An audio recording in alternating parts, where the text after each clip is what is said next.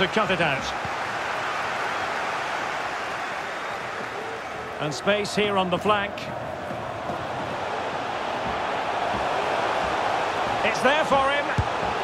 And a goal to increase their advantage to three. Can they be stopped?